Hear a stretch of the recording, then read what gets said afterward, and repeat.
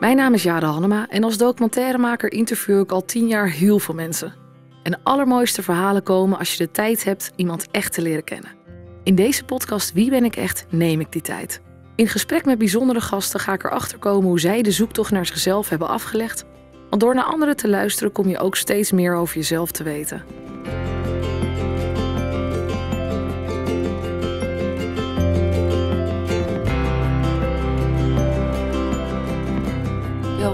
Zevende aflevering van de podcast Wie ben ik echt?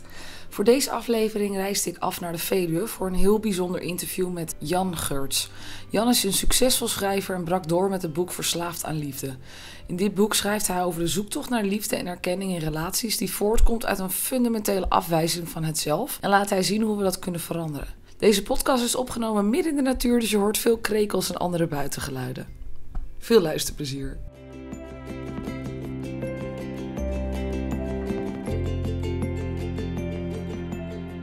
Heel erg bedankt dat je in de podcast Wie ben ik echt eh, wil zijn. Ja, oké. En ehm, ja, de vraag wie ben ik echt is, is best wel een grote vraag. Ik dacht in de auto even aan iets waar ik al een tijdje mee, mee bezig ben. Ehm, en ik ben benieuwd hoe jij daarover denkt. Ehm, ben je een mens of heb je een mens? Mm, ja, dat is meteen wel waanzinnig diep. ja, precies. Want ik zie namelijk vaak dat dat de kwelling is van ons allen. Dat wij zo in onze menselijke gevoelens geloven en onze Ja. gedachten. En dat Mhm. daarmee eh, de Ja. boel in verwarring komt. Ja. Dus het is eerder, heb je, eerder je hebt de mens, hè? Precies. Ja. Maar goed, wat, be- wat betekent dat, hè? En is dat een gedachte of is dat een realisatie? Dat is het grote verschil natuurlijk. Je kan erover filosoferen. Dat je je gevoelens niet bent. Maar als je vervolgens een nare gebeurtenis meemaakt, dan helpt die gedachte jou niet je te bevrijden van de nare gevoelens, van de beknelling daarvan. Hè? Dus vandaar dat het eh, belangrijker is om, te, om zeg maar, spirituele beoefening te doen die jou eh, helpt om te realiseren wie je werkelijk bent, in plaats van te geloven wie je werkelijk bent. En wat is het verschil tussen geloven en realiseren? Geloof is een dus, dus eh, je ziet dat, dat mensen die helemaal geen spirituele en ook geen psychologische zeg maar, reflectie plegen, die geloven dat ze hun zelfbeeld zijn, hun aangeleerde zelfbeeld. Hè? Dus gewoon de naam die je gehad hebt eh, van je ouders en alles wat je hebt meegemaakt in je jeugd aan prettige en onprettige ervaringen, alles wat je als volwassene hebt meegemaakt, je relaties, dus, hè, pijnlijke gebeurtenissen, fijne gebeurtenissen, je hoop en je vrees, je successen en je falen, al dat, al dat, alles wat je hebt meegemaakt, vormt je zelfbeeld. En, de, en ah, zonder zeg maar, spirituele of psychologische reflectie eh, zijn mensen ervan overtuigd dat dat is wie ze werkelijk zijn. Dus als je dan vraagt aan iemand wie ben je, dan zou het antwoord zijn ik ben Jan, weet je wel. Ja. Ja, hier zit hij, deze, weet je wel, dit is Jan. Ja, en dat ben ik. Dus dan via, via psychologische en, en spirituele reflectie kun je erachter komen dat dat hele zelfbeeld zich afspeelt in je gedachten en in je gevoelens. En dat tegelijkertijd die gedachten en die gevoelens ervaren worden door iets wat zelf niet een gedachte of een gevoel is. Dat is eigenlijk waar spiritualiteit met name over gaat. En eh, dat, is, dat is al een verleidelijke gedachte. En, en voor veel mensen blijft het bij die gedachte, als een soort prettige gedachte. Oh, ik ben niet mijn gedachten en mijn gevoelens, weet je wel. Ik ben en dan vul maar in de non-duale essentie of wat dan ook. En vervolgens gaan ze gewoon aan het werk en weet je wel. En dat schiet niet, dat, dat kan een klein beetje, zeg maar, het kan je wel een klein beetje, zeg maar, zo'n gedachte kan je een klein beetje helpen. Als een soort tegengif tegen nare gedachtes. Maar dan moeten ze niet al te, al te sterk naar zijn. Een beetje naar, weet je wel, dat zou nog kunnen. Maar echte, de echte nare gedachten, zoals relatiecrisissen en ziekte en ouderdom en naderende dood en zo, dat soort dingen, daar kom je met de gedachte, ik ben dat niet, he- helpt jou niet. Nee, nee, nee. Nee, hè? nee. Het zijn voor de kleine Dus daarvoor dingen, moet je ja. dus oefenen en dat is waar spiritualiteit over gaat. En met name waar ik het geleerd heb dan boeddhisme, maar hetzelfde geldt ook voor Advaita. En, en zelfs in de, uh, in de Soefi-beweging zit er een vorm van beoefenen in. En beoefenen is dus eigenlijk zo vaak je maar eraan denkt, kijken naar je gedachten en je gevoelens. En proberen om daar niet iets aan te moeten veranderen. En door als het ware je gedachten en je gevoelens wel waar te nemen, maar niet proberen te manipuleren naar leukere gedachten en fijnere gevoelens, ontstaat als het ware die de-identificatie. Ben je als het ware niet meer die gedachten en die gevoelens, maar heb je ze. En raak je dus, kom je steeds meer in contact met zeg maar de wie, CQ, wat. Want het is dus niet echt aan te duiden met een persoonlijk voornaamwoord wie of wat je werkelijk bent. Van waaruit je gedachten en gevoelens waarneemt en de ervaring van een lichaam en de ervaring van een ruimte om je heen. Dat, dat die zeg maar, percepties, gedachten, gevoelens en percepties, zintuigelijke percepties, dat allemaal wordt waargenomen door iets wat zelf niet waargenomen kan worden als iets. Ja, dat maakt het dus eh, ook. En dat maakt het zo houvastloos. Hè? Dat ja. zeggen, wie ben ik werkelijk? Zou, je zou als antwoord kunnen zeggen niets. Ja. Als het dan maar duidelijk is dat het niet niets is in de betekenis van niets, maar alleen in de betekenis van niet iets. ja, niet een ding. Niet een ding. Dat wat alles waarneemt is zelfs niet een waarneembaar object. Nee, dat is niet mogelijk. Het is, zeg maar, het is... Uh, het wordt wel eens ruimte genoemd of openheid. En, en natuurlijk wordt meestal wordt het dan gewaarzijn genoemd. Ja. Als een, en die term die, die, die duidt dan meer op van het is bewustzijn, maar tegelijkertijd het is bewustzijn wat van zichzelf bewust is geworden. Ja. Als de zijnde, degene die je werkelijk bent. Terwijl in de meeste mensen is dat bewustzijn zich niet van zichzelf bewust als je ware ik, als het ware je ware zelf. En heeft dat bewustzijn zich geïdentificeerd met gedachten, gevoelens en ja. een lichaam. Ja, precies. De body-mind zeggen ze in dat Vaita. Hè? Maar zit denk ik bij, de, bij mensen ook. En vandaar als je zegt, ik ben niets of zo, of niet iets. Um, ook, uh, men heeft heel erg een kader nodig om in te functioneren. En als dat wegvalt, lijkt dat wel enorm lastig te worden voor, voor de mens. Ja. Uh, om dan uh, vanuit niets uh, te gaan leven, zeg maar.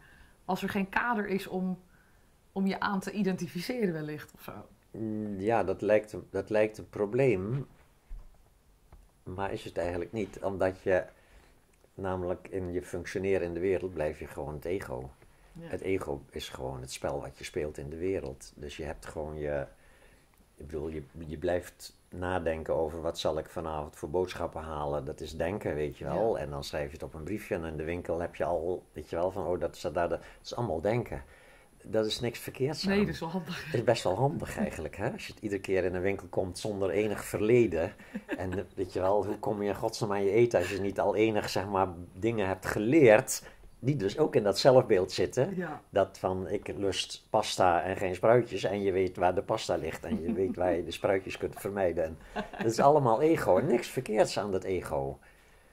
Dus het probleem is niet het ego, het probleem is de identificatie ermee en het niet bewust daarvan zijn. Want dat maakt dat gedachten ook belangrijker worden ervaren, als belangrijker worden ervaren dan de werkelijkheid waar die gedachten betrekking op hebben.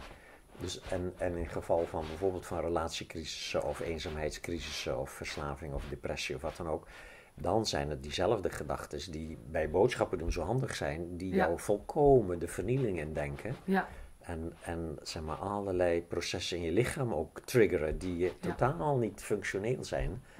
En die ergens komen uit een soort primitieve deel van de hersenen waar het nog wel functioneel was. Vechten, vluchten of bevriezen. Als er een tijger op je afkwam, was dat verdomd handig dat die reflexen er waren.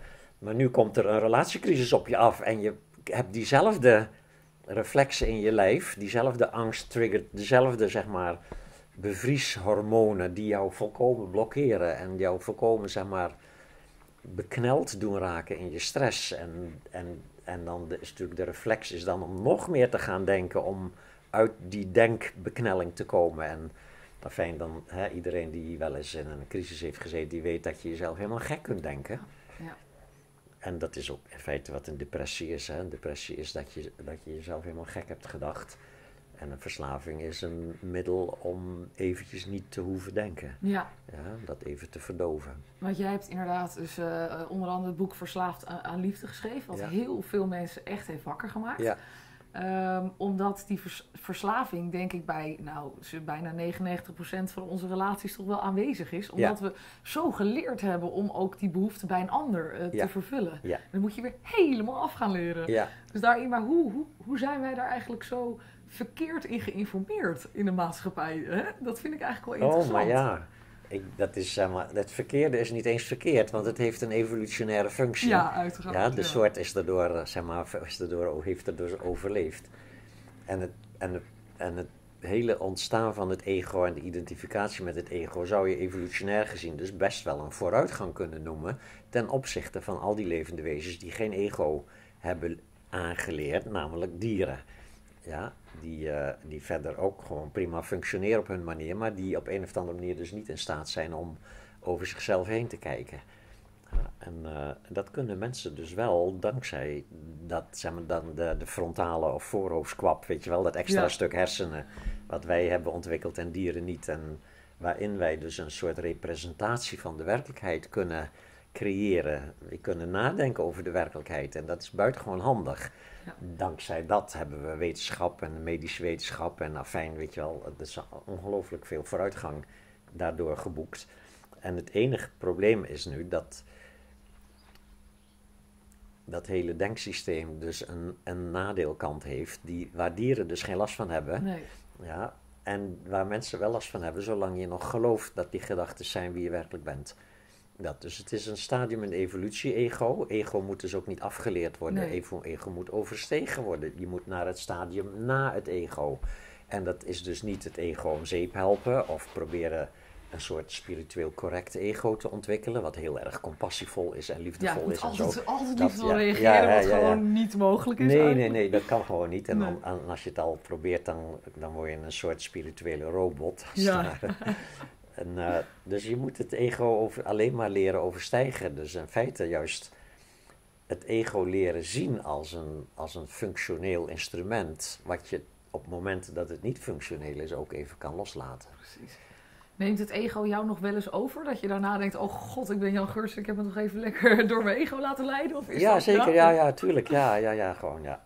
Dat gaat gewoon door. Ja, precies. En hoe, maar hoe, hoe ehm, pak je jezelf dan terug? Of, of ben je dan compassievol? Of hoe? Nou, dat is eigenlijk door die beoefening die geleidelijk aan ertoe leidt dat je steeds minder lang bekneld zit in je ego-identificatie. En de beknelling zelf, als het ware, gaat fungeren als een reminder. Dus in het begin is de beknelling juist iets waar je zo graag van af wil dat je helemaal verstrikt raakt in het denken.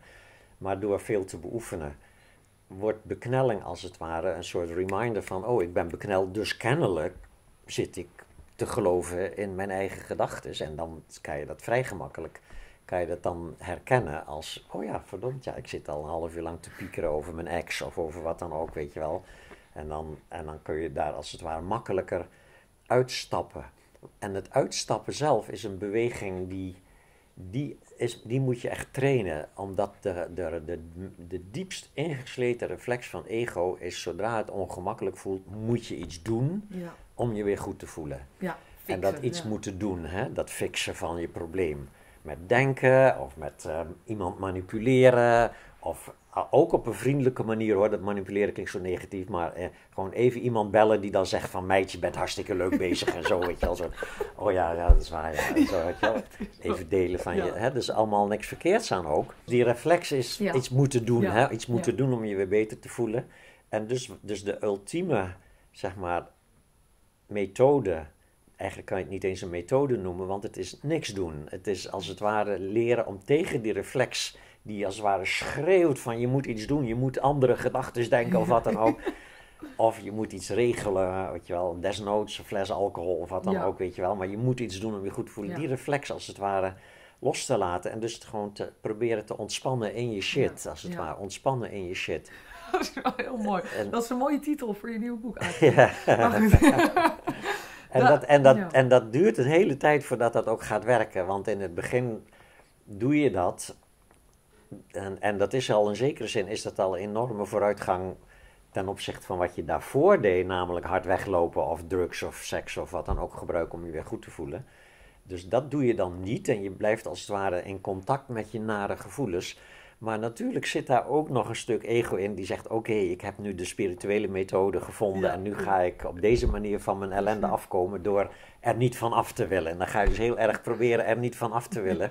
En op die manier dus komt langs de achterdeur natuurlijk toch nog steeds dat, die hoop om er van af te komen en die vrees dat het niet gaat lukken komen binnen. En dus moet je ook daar weer een hele tijd als het ware mee zijn met dat van ik doe toch mijn best, waarom lukt het niet, weet je wel. En daar dan weer vriendelijk naar kijken en daar dan weer niks aan veranderen en zo. En dan ergens komt dus dat punt dat het dan begint te gebeuren, als het ware. Als je, als zeg maar, het, het gebeurt niet, je doet het niet, het overkomt ja, je. Ja. En het, en het kan je pas overkomen als je niks doet. Als je Ja. hebt geleerd om niks te doen waar je geneigd bent heel erg iets te doen. Hè? Dus het is eh, spirituele beoefening, het is eigenlijk de oefening in niks doen. Dat is wel mooi gezegd, want ik doe mij denken aan dat eh, dit echt alleen voor de moedigen is, omdat het zo'n heftig proces is. Omdat, wat, ik heb gemerkt, dat je ego eh, echt eh, nog harder op de deur klopt Ja. als hij weg wordt gebonjourd, ook Ja. al is het vriendelijk of wat dan Ja. ook. Want die laat dat niet zomaar gebeuren. Het Nee, lijkt nee, alsof nee. het dan echt een monster wordt en dan pas, weet je wel, dan pas met rust gelaten wordt. Maar dat je daar behoorlijk in, eh, ja, dat het een behoorlijke uitdaging is. Ja, het is een uitdaging, maar tegelijkertijd ook in de uit, maar, het, het hoofdmotief hier is altijd proberen om vriendelijk te zijn voor Ja. wat er is. Ja.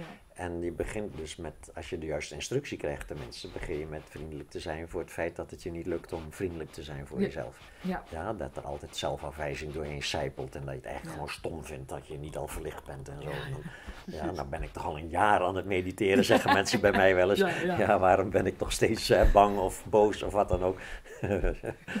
dat is eigenlijk wel heel schattig. Ja, ja, dat snap ik.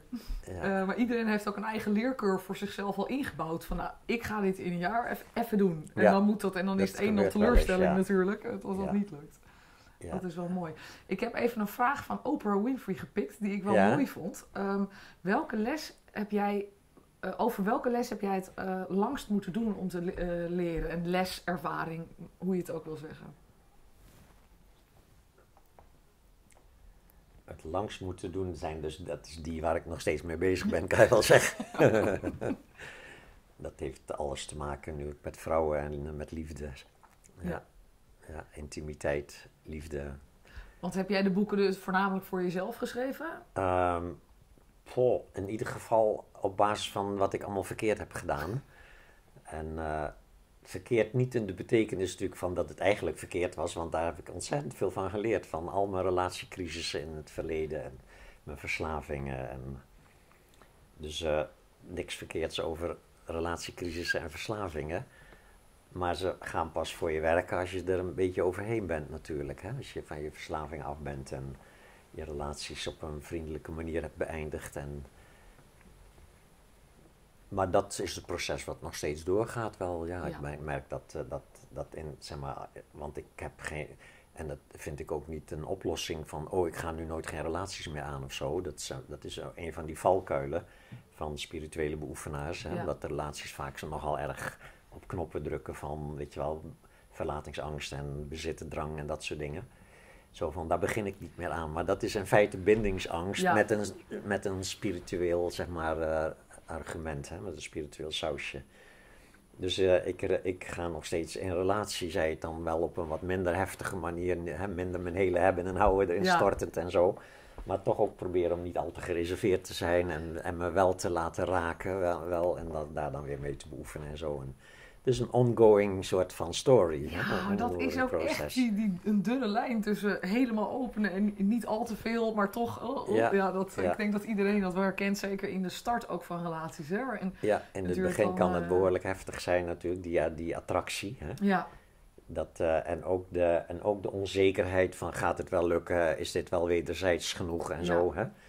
En als je dan eh, al wat spirituele ervaring hebt en je kan bijvoorbeeld die onzekerheid meteen zelf proberen op te lossen in plaats van je partner daarvoor te gebruiken. Het klassieke voorbeeld is gewoon dat je gewoon na een dag of na twee dagen je, je, nieuwe, zeg maar, je nieuwe vlam niet gesproken te hebben, dat je dan een beetje onzeker gaat Ja. voelen van hmm, wat zou er aan de hand zijn of zo, weet je wel. En dan die onzekerheid, als mensen daar zich niet van bewust zijn, die onmiddellijk doe je een appje of een sms'je van hoe gaat het met je. Ik geef mij zekerheid, slash, ja. is dat dus eigenlijk bedoeld? Ja, dat is gewoon van wil je me even geruststellen, hè, dat je nog van me houdt of wat dan ook. Hè, dat we nog steeds, eh, hè, dat we nog samen zijn. Hè, dat, hè.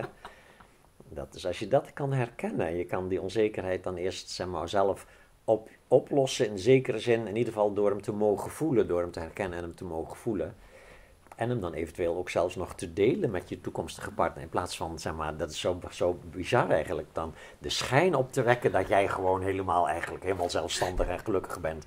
En zo, weet je wel. En, Vraag alleen je- hoe het ja, gaat. Ik bedoel, ja, ja.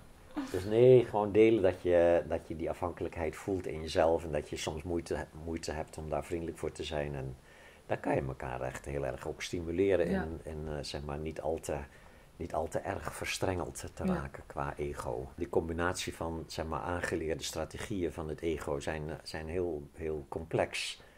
En je kan van alles, alles aanleren en dan, en dan heb je ook nog die fase dat als je dat dan door begint te krijgen, door therapie of workshops of wat dan ook, dan heb je eerst nog een fase dat je je daarvoor geneert en dat je dan denkt, oh shit, weet je wel, een soort van ik ben een nice guy, wat ongelooflijk walgelijk is dat. Toch, hè? Dan ga je heel erg je best doen om assertiviteit eh, te ontwikkelen en dat soort dingen, grenzen te trekken. En, eh, en dat is ook nog best wel leuk ook, hè? want daar kan je inderdaad best wel wat blijer door worden ook. Dus een beetje voor jezelf durven op te komen en zo. Dus, eh fijn, dat, is, eh, dat hele proces, dat staat allemaal in die boeken, dat, hoe dat werkt. Hè? Hoe je via, eerst ben je versmolten met je ego, dus dan ben je je ego zonder dat je dat doorhebt. Dat er identificatie heeft plaatsgevonden. Dan krijg je dat door, maar wil je er graag vanaf? Wil je graag een beter, leuker, vriendelijker, eventueel zelfs een spiritueler of een succesvoller ego ontwikkelen? En dan ga je in training daarvoor. Hè? Dat heet dan persoonlijkheidsontwikkeling. Dat is hartstikke mooi en best wel leuk. En dat levert soms meer geluk op ook en minder lijden. Tot op zekere hoogte uiteraard, want je kan op dat niveau van training kan je nooit zeg maar echt ziekte en ouderdom en naderende dood en relatiecrisis en eenzaamheidscrisis, daar, dat, daar helpt het niet tegen. Maar als je wat, wat succesvoller bent in de wereld en je kan wat beter relaties aangaan, je durft wat meer zeg maar, contacten te leggen met mensen, je bent iets minder bang om afgewezen te worden bijvoorbeeld, dat geeft wel degelijk een verhoging van de kwaliteit van je leven. Dus daar hoef je nog niet spiritueel voor te worden. Dat kan alleen al met psychologische training kan je dat bereiken. Hè? Ja. Alleen dan blijft het altijd ego. En dus bleek- dat betekent ook dat, dat die, die, zeg maar, die nieuwe patronen die je hebt aangeleerd om je beter te voelen dan die oude patronen, die blijven, dat blijven patronen die als het ware dienen ter toedekking van die fundamentele overtuiging dat we van onszelf niet waardevol kunnen zijn. Hè, dat we daar andere succes van buitenaf en, en liefde en erkenning voor nodig hebben. Dus dat systeem blijft in stand. Ik heb eh, door training wel geleerd om assertief te zijn en mijn grenzen aan te geven. Maar een tijd lang was dat nog steeds een ego-patroon in de zin van, als ik dat niet deed, dan vond ik mezelf onmiddellijk weer een slappeling, weet je wel. Weet je wel? Dat, dat, dat hele systeem, dat blijft dan gewoon functioneren. Totdat je dus als het ware doorkrijgt dat die diepe overtuiging een aangeleerde is en niet is wie je werkelijk bent. Precies. Oei, maar dat, om dat spel te doorzien, hè, dan, Ja. ja. ja, dat Ja. zijn we wel eventjes verder. Het is toch ehm, grappig waarom we dan eigenlijk... Je bent als baby geboren, dan, nou ja, ongeschreven blad, om maar even vanuit te gaan, als je ervan uitgaat dat je eh, eh, voor het eerst hier komt. Ja, Eh, en dan komt er dus van allerlei lagen, lagen omhoog, om- op, op, Ja. op, op. En dan ben je volwassen, dan mag je het allemaal, allemaal af, af, af, ja af, mag je er weer doorheen leren kijken. Wel, waarom ja. hebben we het... Hebben we, wat, Ja. Dat is toch eigenlijk gek? Maar ja, goed. Ja, maar toch, dat, dat, zoals je dat nu verwoordt, lijkt het toch weer alsof je er weer van af moet. Maar je hoeft er niet van af. Het is, al die lagen die zijn als het ware voor een deel gewoon heel nuttig in Ja. het functioneren in de wereld. En voor dat deel dat ze problematisch zijn, hoef je er niet van af, maar hoef je ze alleen maar te doorzien. Ja, Hoef je ze alleen maar, dat heet dan, ik noem het dan liever overstijgen. Dus Ja. dat overstijgen is als het ware dat je ziet dat dat is, niet is wie je werkelijk bent. Ja, dat is mooi, dat is mooi dat je dat nog even aanstipt. Want het, het, het weghalen, dat, is zo, dat zit in je, zit, ook zo ja, in je woordenschat om dat zo ook te gebruiken. Het is onze taal ook en het is ook ego. Zodra ego dus doorkrijgt dat het ego het probleem is, wil het ego graag van het ego af, krijg je de meest rare constructies. die allemaal weer ego zijn. En ego die egoloos probeert te zijn en zo. maar het, het, uh, die lagen zijn ook voornamelijk, ik noem dat dan ook kindstukken, omdat, ik, omdat je zo in zo'n kind, uh, dat ik zo merk dat ik dan weer heel klein uh, word. Maar, en die blijft ook altijd volgens mij, hè? die kleine kinderlagen in jezelf, die worden, komen gewoon af en toe omhoog. Maar dat is gewoon waar je mee deelt je hele leven volgens ja, mij. Dat blijft getriggerd worden. En het enige wat kan veranderen dus door de juiste beoefening is dat, dat onmiddellijk nadat het getriggerd wordt, het herkend wordt. En dat je dus niet verkrampt in die oude trigger. Ja, ja, het is oude, het is een soort herinnering. Het is opgeslagen in je lijf, hè, in je pain body of zoiets, hè, pijnlichaam. Ja. En dus een bepaalde gedachte of een bepaalde omstandigheid kan dat triggeren. Dan komt er een aanzet van een in je jeugd aangeleerde beknelling naar boven. Dan is de, zeg maar, de volwassen geest, de ego-geest, die denkt, oh shit, daar gaan we weer, weet je wel. En verkrampt dus, wil dat niet, wil dat niet voelen. En in dat ik wil dit niet voelen zit hem dus als het ware de identificatie ermee en, en, en, en creëer je het lijden. Dus het is eigenlijk heel subtiel dat, dat in ons ego-bewustzijn zijn we ervan overtuigd dat eenzaamheid een soort objectieve narigheid is. Of, weet je wel, verlatingsangst of je afhankelijk voelen of zo. Dat dat een objectieve narigheid is waar je dus inderdaad van af moet zien te komen. Maar de narigheid zit hem niet in de emotie, maar in de reactie op de emotie die razendsnel gaat, namelijk ik wil dit niet voelen. Zodra je een emotie niet wil voelen, wordt het een beknelling. Wordt het, gaat die dus als het ware lijden vormen. En, lijden is als het ware, vervolgens wordt dat lijden als het ware ook in die emotie geprojecteerd. Dus op zich is er geen, eigenlijk, als je dat eenmaal doorhebt, is er geen enkel probleem om je eenzaam te voelen of om je waardeloos te voelen of om je mislukt te voelen. Want onmiddellijk gaat daar die glimlach overheen die als we onmiddellijk herkent, oh, dit is kleine Jan die, weet je wel, ja. bang is om weer hè, de verliezer te zijn in een conflict en zo. En dan herken je het. En door die herkenning die dan niet meer vervuild wordt door die neiging om ervan af te willen, maar juist als het ware verliefd wordt, vervuld met liefde. Hè? Je herkent het met liefde. Je, dan, dan wordt ego wordt gewoon als het ware een soort schattig soort rollenspel ja, of zo. Dat is wel heel mooi gezegd. Waarom willen wij zo graag een relatie? Nou ja, omdat we dus van jongs af aan leren, zeker dat eerste jaar van ons leven, leren wij dag in dag uit op een soort ervaringsniveau. Dus nog niet eens dat we dat denken, maar in die, dat eerste jaar zijn er nog geen gedachten.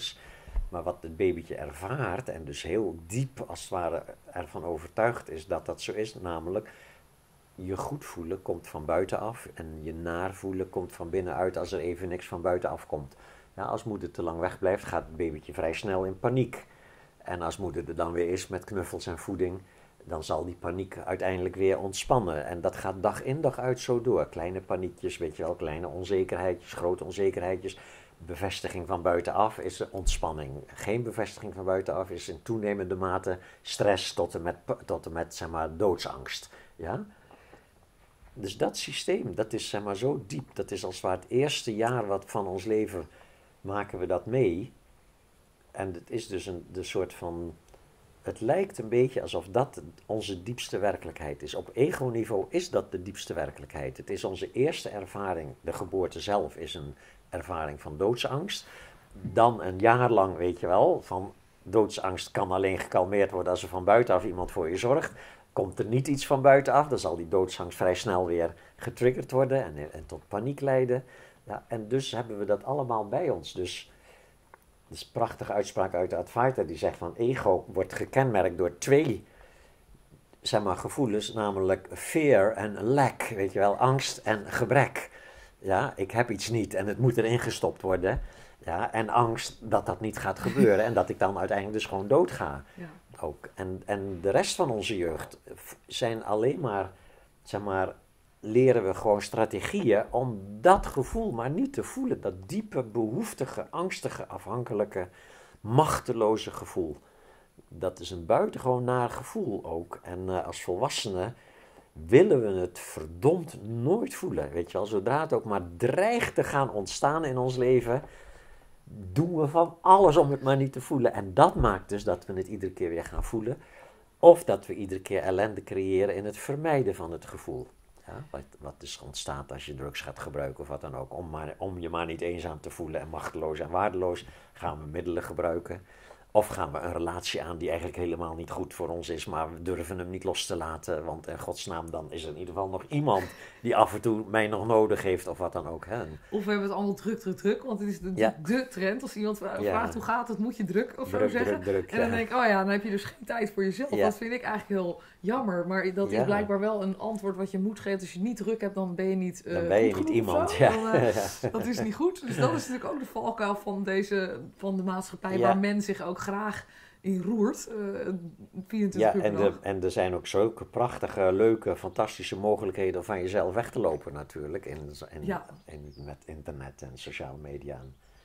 Je kan constant in contact zijn met je omgeving en constant bevestiging en erkenning ja. Daaruit putten. Dus des te moeilijker als je dus eigenlijk daar dus af en toe van onttrekt en zegt, ja. nu eventjes... Ja, even, even een week geen Facebook als je daaraan gewend bent. Maar ook met Facebook overigens, je ziet dat ook het middel zijn eigen nadelen heeft. Want als je een rotavond hebt en je gaat dan op Facebook om je wat beter te voelen, dan zie je allemaal mensen die allemaal succesvolle levens hebben en ontzettend veel leuke vrienden. allemaal lachende foto's ook met in, in exotische oorden en zo. En jij zit in schin op geul te balen van jezelf, weet je wel. Dus ja, dat helpt dan ook niet. Nee, hè? dat helpt niet. Nee, en ook je kan je afvragen wat uh, de verbinding met anderen op, op social media, of dat, wat dat voor echte verbinding, voor verbinding, is ook weer. Ja. Maar ja, dat is dan weer uh, aan ieder om dat dan weer uit, te, uit te zoeken. Ja. Maar dat is wel mooi. Ja, dus die relaties, dat hebben wij eigenlijk van, van baby af aan.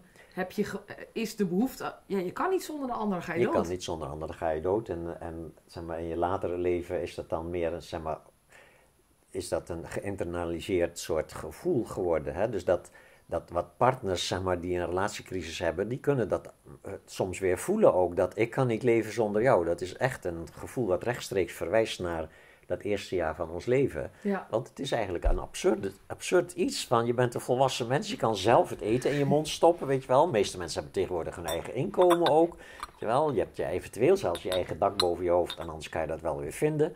Je kan leven zonder de ander, maar dat gevoel is zo diep, weet je wel. Dat is zo beangstigend. Omdat gewoon een relatie zo'n belangrijke toedekfunctie heeft van dat allerdiepste gevoel van waardeloos, machteloos, afhankelijk en angstig. Soms, en heel veel, ik denk ook soms heb je, is het zo sneaky dat je het niet door hebt. Dat iemand zegt elke dag iets aardigs. Dus daar, hou, mm daar blijf je dan voor of zo. En je gaat jezelf van alles wijs maken. Van nee, maar dat is wel leuk. En ach, hij doet dit en dit niet, is niet leuk. Maar dat ene wel. Want dan krijg je toch dat complimentje. Het is, zeker, ja, het is een heel grappig, heel kinderlijk systeem. Maar ook heel complex. Heel complex in zijn voor wat hoort wat strategie. Ja? ja. Want iemand aardig vinden die jou niet aardig vindt. Dat levert dan helemaal geen geluk op natuurlijk. En aardig gevonden worden door iemand die jij niet aardig vindt, levert ook geen geluk op. Dus het moet altijd een soort van, ja, en als ik jou een beetje aardig vind en jij vindt mij verschrikkelijk aardig, dan levert het ook problemen op en andersom ook. Dus het moet een beetje gelijk opgaan. Hè? En dat is zeg maar waar ego waanzinnig goed in is, in dat aftasten van. En dat, hè, zelfs gewoon in de supermarkt, weet je wel, bij de kassa, weet je wel fijne avond nog, zeg je ook fijne avond, weet je wel. Dat doe je, ga je niet moeilijk doen en zo. Maar als hij, zij het niet zegt bij de kassa of hij, dan zeg jij dan, dan denk je, ja, dan ook niet fijne ja, avond. Ja. En dan in een relatie natuurlijk helemaal. Hè. Dat moet echt uh, gelijk opgaan. Die, hè, je moet even afhankelijk zijn als dat de ander dat van jou is. Dat, uh, dat moet een beetje gelijk opgaan. Anders dan gaat het schuren en dan wordt het vaak zeg maar, de attractie verandert dan in aversie. Dan gaan mensen elkaar verschrikkelijk zeg maar, de grond in boren. En... Dat is natuurlijk zo raar van liefde. Je bent of helemaal voor elkaar en je bent fantastisch en je wil nooit meer zonder die ander. Maar sta je die, die, uh, dat contract, spiritueel contract, is dat net niet in balans, dan haat je elkaar weer elkaar nooit meer zien. Dat is, is zoiets bizar, bijzonders. Dat dat zo dicht bij elkaar kan liggen, zeg maar. Eh. Ja. Ja. Nou, blijkbaar eh, ja, dat doen we toch eh, doen we dat zelf. Maar het mooiste zou dus zijn om een relatie aan te gaan die volledige overvloed En dus niet bij elkaar dingen te willen halen, toch? In. Nou, dat zou het mooiste zijn als je daartoe in staat zou zijn, maar daar zijn we dus nog niet toe in staat. En het mooiste is dus dat je daar kan beginnen. Namelijk dat je je ego herkent als die behoeftige, afhankelijke kleine kind, weet je wel, wat zich heel makkelijk bindt aan iemand die dan een papi of mami rol gaat fungeren in jouw leven. En dat dat ook hartstikke leuk is en tegelijkertijd, weet je wel, een bron van heel veel ellende, in ieder geval in de toekomst. En, en dat je daar dan met elkaar als het ware je in gaat verdiepen hoe dat werkt. En dat je elkaar gaat helpen door, niet door zo heel nuffig van, oh dat is jouw emotie, daar moet je zelf maar uh, voor zorgen of zo. Maar wel, wel een soort van, nee, dit is mijn emotie, daar moet ik voor zorgen. Dus verantwoordelijkheid nemen voor en niet al te hard een ander verantwoordelijk stellen voor zijn of haar, snap je? Een soort vriendelijkheid ontwikkelen, dat je ook de mist, de mist in mag gaan en vriendelijkheid ontwikkelen voor elkaars ego-patronen. En ehm, dan kun je eigenlijk van elkaar leren om van jezelf te houden. Zoiets, ja. Um, maar dan ga je er denk ik ook wel een beetje vanuit dat je een gelijk bewustzijnsniveau hebt, wat natuurlijk niet altijd zo Nee, dat is, niet altijd het geval, maar dan... Dat, dat regelt zich vanzelf wel. Als jij zeg maar, spiritueel al hoog ontwikkeld bent en je raakt aan, zeg maar, verliefd op een partner die niks met spiritualiteit heeft, dan of je gooit je eigen spiritualiteit overboord natuurlijk. Dat kan ook, hè, tijdelijk kan dat gewoon een soort van, oké, zo belangrijk was het eigenlijk niet. En ik wil nu gewoon eerst even aan een gezin met kinderen werken en zo. Dan komt later die beoefening wel weer, hè. Dat kan natuurlijk. Ik bedoel, je kan, en je, zelfs daar, daar, daar is geen enkele reden om dat te veroordelen ook. Dat gebeurt dan gewoon en dat is kennelijk dan het beste voor je. Maar je zou ook, je spiritualiteit zou al zo, zeg maar, gevestigd kunnen zijn in je denkstroom dat je van daaruit gaat relateren aan de ander. Dus dat je gaat weliswaar je eh, ook erkent dat je eh, waanzinnig gek op die ander bent, maar dat je tegelijkertijd wel bepaalde soort van basisbeginselen wil, wil zeg maar, gebruiken in de omgang met elkaar, zoals eerlijkheid, zoals openheid, zoals geen, verant geen verantwoordelijkheid nemen voor de gevoelens van een ander. En andersom, en, en eventueel ook eh, over, zeg maar, over de welke mate van vrijheid je wil behouden in het ook intiem zijn met anderen. En zo, dat je daarvan weet van gewoon eerlijk over bent met elkaar. En als je dan een partner hebt die geen enkele spirituele affiniteit heeft, dan zou het nog kunnen zijn dat het een partner is die waanzinnig, zeg maar, op gewoon psychologische gronden, waanzinnig stabiel ego heeft. En die dat wel aan kan. Die zegt: Oké, als jij dat wil doen, ga je gang. Maar ik, mijn, aan mijn lijf geen meditatie en zo, weet je wel. Ik amuseer me zo wel. En dan prima, dan zou dat een hele tijd goed kunnen gaan. Maar meestal zal de niet-spirituele partner toch gaan merken, zich, zich onzekerder gaan voelen, omdat de wel-spirituele partner zijn zekerheid meer aan zichzelf gaat ontlenen en niet aan de partner. En, uh, en bepaalde vrijheden, zeg maar, niet zal opgeven, die door de ander worden beschouwd als een bewijs dat hij niet echt van je houdt. Weet je wel, soort van, of andersom gezegd, mensen vinden het soms een bewijs van liefde als je partner iets opgeeft voor jou. Ja, je doet helemaal niks, hebt helemaal niks voor mij over. Een soort van dat je, weet je wel, dat zo, fijn.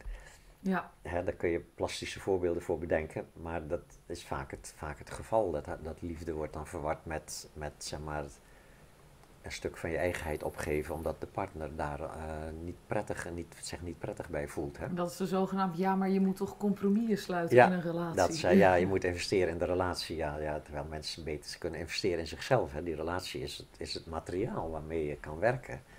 En, en hartstikke leuk overigens ook. En boeiend en kan enorm bijdragen aan je spirituele groei.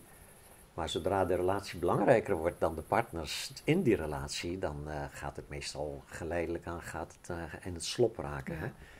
Dan wordt wat, hoe leuker het in het begin was, hoe pijnlijker het dan vervolgens in de fase daarna wordt. En, ja, men zegt altijd hoe een relatie begint, zo eindigt die ook. Ja, ja dat is, uh, dat, is vaak het geval. Hè? Ja. Ik had een, een, een oproepje gedaan op Instagram of iemand nog een vraag voor jou had. Ja. En dat sluit even aan waar we het net over hadden. Iemand uh, die vroeg: Ik zit in een relatie, zei ze. Maar Jan Geurts heeft het vaak gehad over polyamorie en dat dat mhm. eigenlijk een prima manier is. Of in ieder geval een van de opties. Mhm. Maar zij zegt: Ik geloof in monogamie alleen. Ja. Uh, en uh, is dat dan een probleem? Nou, in ieder geval, ja, jouw, ja, jouw licht erop. Dat, dat wilde zij Ja. Kijk, het spirituele uitgangspunt is dat mensen verantwoordelijk zijn voor hun eigen lijden en ook voor hun eigen geluk en voor hun eigen spirituele ontwikkeling.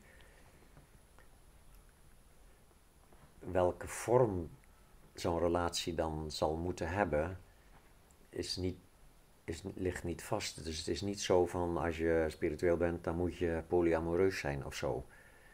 Als beide partners zeg maar, volkomen gelukkig en tevreden zijn met alleen intiem met elkaar te zijn, dan is er op zich geen enkel probleem. Uh, spiritueel gezien ook. Is prima, weet je wel.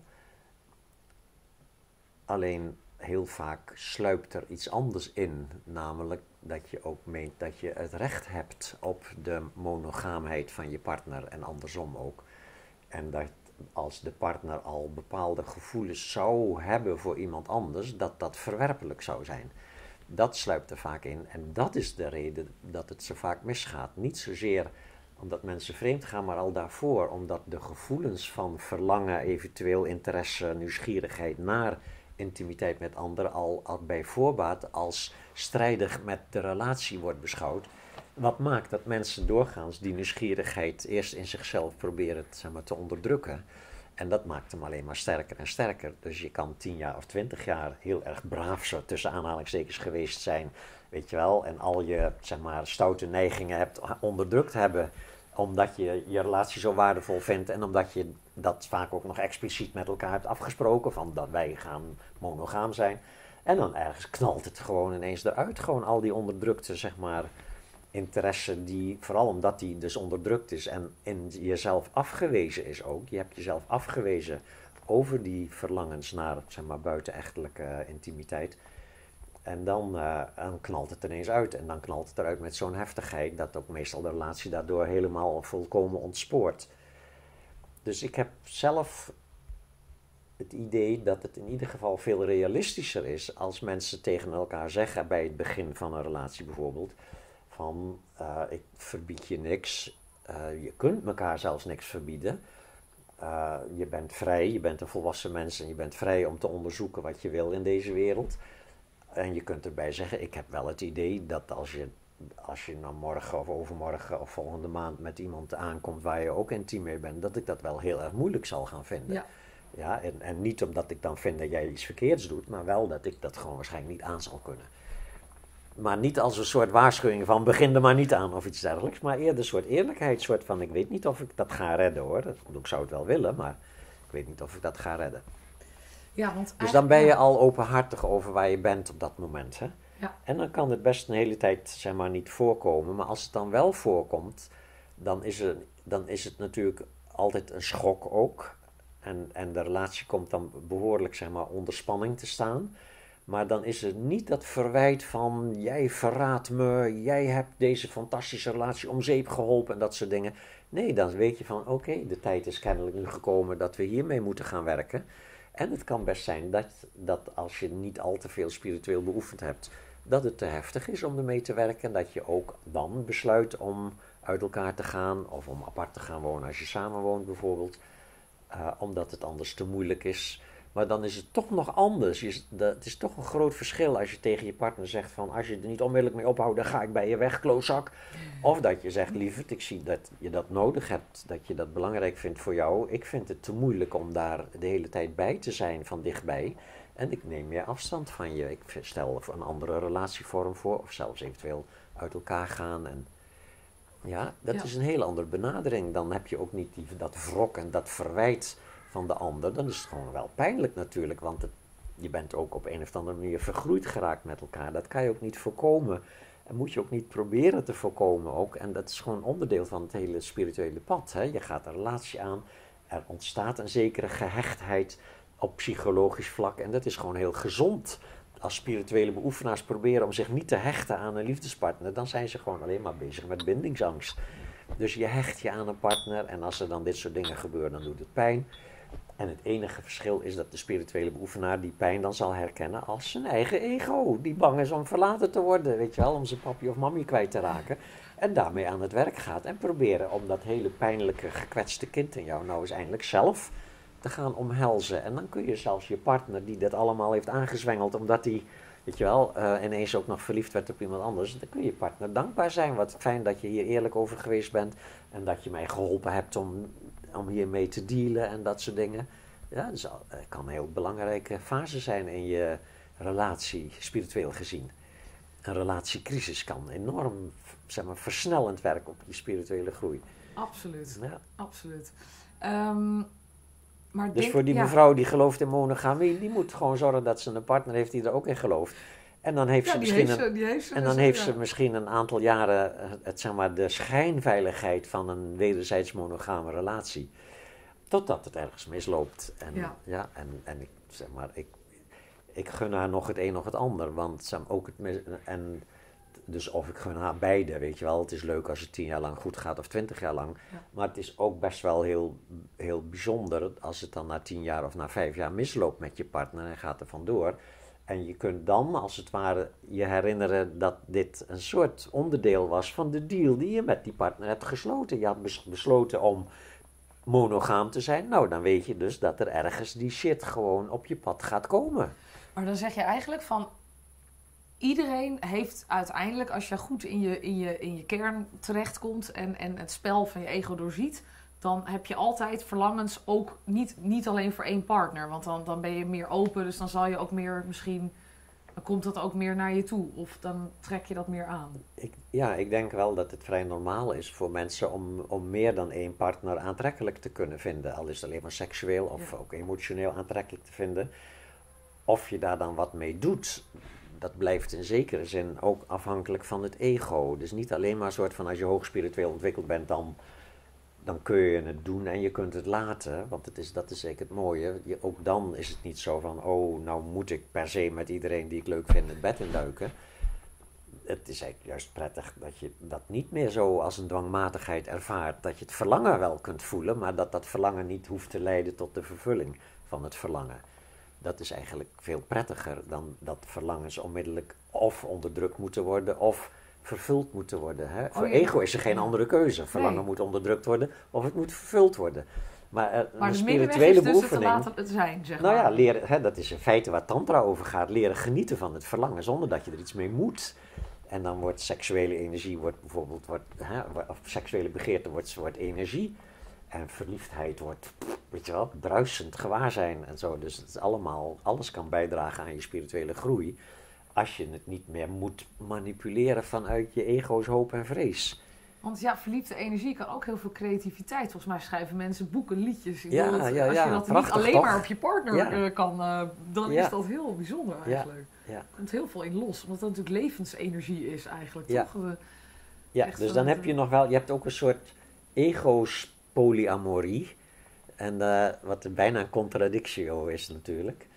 Maar wat je dus ziet is dat tegenwoordig mensen natuurlijk van alles proberen. En dat vind ik eigenlijk op, zich al een vooruitgang. Dat er geen normen zijn waar je dan per se binnen moet blijven. En van alles proberen, wat overigens ook door, voor meer ellende zorgt. Maar die ellende zorgt dan weer voor meer spirituele groei ook.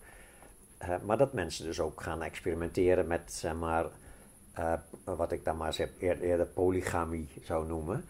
En dat beide partners er ook nog iemand anders op nahouden. Weet je wel? Misschien dat je wel elkaar dan als elkaars hoofdpartner beschouwt. Maar allebei ook nog wel één of meer, misschien zelfs wel minnaars en minnaressen erop nahoudt. Of af en toe gewoon eens avontuurtjes als het ware elkaar toestaat. En dat dat best goed loopt.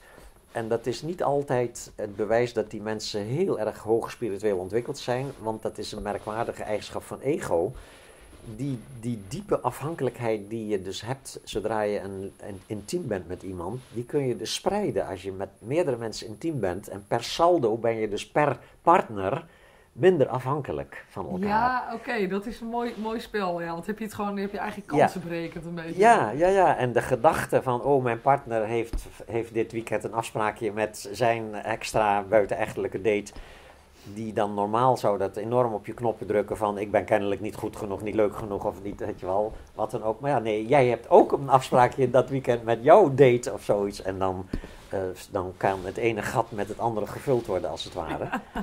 En, en, en, en dat, zegt, dat klinkt een beetje klinkt denigrerend dan bedoeld, want dat is allemaal oké. Ik vind dat mooi. Ego moet dat soort dingen gewoon allemaal proberen. Ja. En natuurlijk in zo'n situatie van zeg maar eh, polygamie, zodra één van die twee partners dan zijn buitenechtelijke date verliest en weer even alleen is, dan zul je ook onmiddellijk merken dat dat vrij snel gaat schuren. Ik, hè, ik ben zelf ook best wel polyamoreus ingesteld nu. En dan merk ik toch dat wat er ontstaat met, een, met als je meer dan één partner hebt waar je intiem mee bent, is eigenlijk totaal niet wat vroeger dan zeg maar op ego-niveau, als je meer partners had. Ik bedoel, ik kom uit de jaren 60 hippie tijd, toen had je gewoon heel veel partners, maar het waren eigenlijk geen echte partners. Dat was gewoon vrijheid, blijheid, weet je wel. Wat is echt vrijblijvendheid was. En uh, ik denk dat die spirituele commitment, die nooit aan een partner is, maar altijd aan je eigen spirituele beoefening, toch ook een soort verbondenheid met een partner creëert. Die, die totaal niet meer vrijblijvend is. Die, de, wel, er is wel vrijheid, hè? je laat elkaar vrij. Maar die vrijheid is, die heeft geen vrijblijvendheid in de zin van dat je je niet bezighoudt met waar een ander mee bezig is. En als een ander het moeilijk heeft, moet hij dat zelf oplossen en dat soort dingen. Nee, dat is eigenlijk een proces wat enorm wederzijds is. En uh, afhankelijk gewoon van de mate waarin je dat wil toepassen met elkaar. Hè. Je, ik bedoel, je mag ook gewoon elkaar eens in de maand zien en heerlijk vrij en dan voor de rest van de maand geen contact hebben als je dat leuk vindt met Ja. iemand. is prima natuurlijk. Ik denk dat dan toch tijdens, dat, tijdens die intimiteit er veel meer liefde is dan als het een soort vrijblijvend soort zeg maar, seksueel contact is alleen maar. Ja, ja, Ja, dus dat is, maar dat heeft denk ik weer te maken met dat als je spiritue- op het spirituele pad bent, dan kan je niet vrijen zonder dat je ook tantrisch vrijt. Dus Nee. dat je eigenlijk vrij, het vrije zelf ook als beoefening gebruikt. En, Ja. en tantrisch vrijen is eigenlijk gewoon seksuele energie transformeren in liefde en gewaarzijn. ja. Dus dan is er liefde en gewaarzijn in het vrije. En je kan natuurlijk met, heel, met verschillende ehm, contacten hele bijzondere andere punten bij elkaar naar boven Ja, halen. ja. Bij één partner spiegelt dit en bij de Ja. ander denk je, wauw, maar bij jou voel ik me ook te gek, maar dan weer op een andere manier, waardoor je dus Mhm. een andere klik ervaart. Ja, Dus het wordt wel wat rijker, kan ik me zo Het wordt voorstellen, wel rijker, in ja. ervaringen ja, ook. ja, zeker ja. Ehm, Jan, valt het jou ook op dat er een enorme opmars de laatste jaren is in, in spirituele ontwikkeling? Waar vroeger yoga echt alleen in India was, is het nu op elke hoek van de straat. Hoe denk je dat Ja, dat ja, eh, ja, komt? prachtig hè, prachtige ontwikkeling is dat. Ja, Ik denk, eh, ik denk dat spiritualiteit überhaupt een soort golfbeweging is in de, in de geschiedenis. Als je bijvoorbeeld kijkt in de, eh, een beetje in de, wat er voor zover er wat bekend is van de tijd dat de Boeddha leefde, 2500 jaar geleden in India. Dat, dat was toen ook een soort periode van enorme spirituele eh, bloeitijd. Want de Boeddha was niet een soort eenling in een land waar verder niks spiritueels gedaan werd. Dat was gewoon een enorm bruisend soort spiritueel leven was er toen. Ten opzichte van zeg maar de, de, de, de heersende cultuur was hindoeïstisch. Dus een hindoeïstische religie die helemaal verstart was in eh, dogma's en kastenstelsel.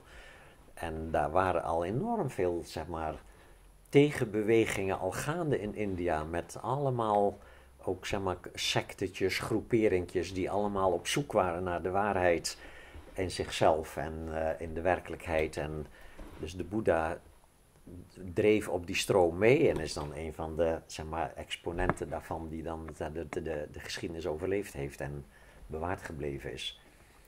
Dus eh, je hebt nu ook een periode van rijkdom. En terwijl dat bijvoorbeeld de afgelopen zeg maar, jaren daarvoor duidelijk niet het geval was, hè, dan heb je een periode, dan is religie oppermachtig. En religie is, is in feite een soort ego-variant van zeg maar, de, de hogere werkelijkheid. Hè. Dan hebben we het over de hemel en de hel en dat soort dingen. En, en de tien geboden om je aan te houden, om te zorgen dat je in de hemel komt en niet in de hel. Dat is allemaal heel erg zeg maar, simplistisch en egoïstisch, weet je wel, erg ego. En nu hebben we dan een periode van zeg maar, spirituele bloei weer. Ja, mooi dus. En dat zal wel weer voorbij gaan ook natuurlijk. ja hè. denk je ook weer dat als wij ontwikkelen, dat dan een volgende generatie dat soort van in de prullenbak gooit en weer opnieuw begint? Denk nou, niet dat opnieuw weer- niet. Nee, ik denk wel groei van bewustzijn is een eenrichting Ja, ontwikkeling. Maar dat daar pieken en dalen in voorkomen, dat, eh, dat vind ik wel gewoon, dat kan je wel, daar kan je wel op wachten als het ware. Ja, dat heeft ook te maken natuurlijk, uh, leef jij in een land met oorlog, heb je honger, ja, et cetera. Dat, soort dingen, dat, dat, is ook natuurlijk ook wel belangrijk. Ja, bijvoorbeeld het hele Midden-Oosten is nu bar weinig plek voor spiritualiteit. Dat is gewoon alleen maar narigheid daar. Terwijl het Midden-Oosten ooit bakermat was van spiritualiteit. Dat is wel, en, en, wij nog hier met knuppels op konijnen joggen. Hè? Dat, ja. Dus uh, ja, dat is het opgang en neergang van. Ja. Maar de oorlog, uh, oorlogen in de wereld ontstaan vaak omdat er een, een, een klap aan hoger bewustzijn moet komen in een land, heb ik wel eens gehoord. Of denk je ja, dat dat niet. Uh... Ja, moet komen is dan een beetje een soort van van wie, hè? maar, een soort van wel, maar eerder wel een soort van ja. Zo zien we dat zeg maar, de Tweede Wereldoorlog heeft ook een belangrijk effect gehad op de groei van bewustzijn van de gelijkheid van alles. Weet je wel, toen zijn de, de rechten van de mens geformuleerd. Dat nog vrij weinig mensen zich eraan houden, oké, maar het, ze zijn er wel. Ze zijn een soort leidraad geworden waar geleidelijk aan, als het ware, de mensheid zich dan weer aan ontwikkelt. Er zal wel weer een keer een afschuwelijke crisis komen weer en zo. En dan, weet je wel, dan daarna weer en nog weer vooruitgang of wat dan ook. Dat, zo zal het wel zijn. Ik bedoel, wat je in één mensenleven ziet ook. Periodes dat je het echt naar en zwaar hebt, weet je wel. En crisis en dan gaat het een tijdje weer voor de wind. En dan, en dan de crisisperiodes eh, zijn de belangrijkste voor je spirituele groei. Ja, en ook door, natuurlijk door die crisisperiodes uh, waardeer je natuurlijk weer uh, de mooie periodes. Van zonder licht zie je geen donker, andersom mm. enzovoort. Ja. Maar ja, dat zijn natuurlijk die, de tegenpolen van het leven. Um, heb jij misschien een tip voor mensen die nog, nog ja, aan het begin staan eigenlijk om zichzelf te leren kennen? Hoe, hoe, hoe zou je dat ja, heel basic uh, een beetje moeten aanvliegen? Ja, dat, daar moet je je verdiepen in spiritualiteit. En daarvoor kan je terecht op YouTube en boeken lezen en zo, weet je wel. Dat is, YouTube is zo fantastisch. Hè? Dus je typt maar iets in, weet je wel. En je krijgt gewoon een hele reeks van video's en van leraren die daar iets over vertellen. En dan moet je maar gewoon je, een beetje je gevoel volgen van wat klikt bij jou en wat klikt niet. En wat klikt moet je dan een tijdje blijven volgen ook. En dan eventueel zodra je in contact komt met iemand die ook nog uitlegt hoe je dan naar je eigen gedachten en gevoelens kunt kijken. In plaats van ze te zijn, ze te kunnen hebben. Dat, en dat dan gaan we oefenen uiteindelijk. Hè? Maar dan moet je wel de goede instructies al hebben, want anders ga je, ga je proberen om, je, om te stoppen met denken en dan word je alleen maar, word je alleen maar gek van. Dus uh, nee, gewoon, ik zou iedereen maar, iedereen die denkt, hè, als je dit, dit gesprek gehoord hebt en je denkt, wil daar meer over weten, gewoon op YouTube en uh, typ maar wat in, weet je wel, liefde of ja, zoiets. Ja, ja, of, of meditatie of, weet je wel, angst of wat dan ook. En je krijgt gewoon je krijgt spiritueel onderricht te zien naast natuurlijk een hoop bullshit en. Tuurlijk, maar ik denk als je je gevoel volgt en, en dan voel je wel of iets bij jou klikt of niet. Of iemand bij jou aanspreekt, of je iemand zijn stem prettig vindt. Dat soort dingen zijn allemaal natuurlijk filters. Ja, toch? ja. Kijk, de, meestal begint het met dat je iets hoort of je leest iets en dat raakt al iets van binnen. Ik kan me herinneren dat ik in 1998 bij een vriend zomaar een boek op tafel zag liggen. Het Tibetaans boek van leven en sterven was dat dan toevallig. En ik, en ik sloeg zomaar een bladzijde op en ik las zomaar één alinea en ik dacht, dat boek wil ik lezen. Dat raakte iets in mij. Dat was iets van, dit boek wil ik lezen. Heel, nog niet soort van, dit is de grote begin van, maar wel, oh, dat boek wil ik lezen, weet je wel. Een soort van, dus ik kocht dat boek en ik las het en verdomd, daar kwam meer van die hoofdstukken, sommige hoofdstukken was totaal beyond mijn zeg maar, vermogen om te snappen. En mijn andere hoofdstukken raakten echt iets soort van, hé, hey, weet je wel, goh, dat en zo is dat dan begonnen, weet je wel. Dus, uh, dus als je dat nog niet hebt, dan moet je gewoon maar wat rond, rondsnuffelen, totdat er iets is wat iets in jou doet ja zeggen, zoiets, ja. soort ja-gevoel, ja, dit, weet je wel, dit, dit lijkt me leuk. En dan, uh, en dan kan dat een tijdje werken voor je. En dan na een tijdje is het op, weet je wel. En dan moet je iets anders vinden weer. En zo gaat het meestal op het spirituele pad. Ja. Hè?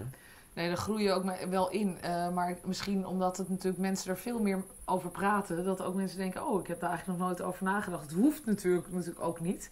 Nee, maar het is toch wel een, een, flinke beweging aan het worden. Waarin mensen gewoon bij zichzelf gaan vragen. Oh ja, daar heb ik eigenlijk nog nooit over nagedacht. Goh, moet ik dat niet eens gaan doen? Moet ik daar eens niet over gaan nadenken, ja.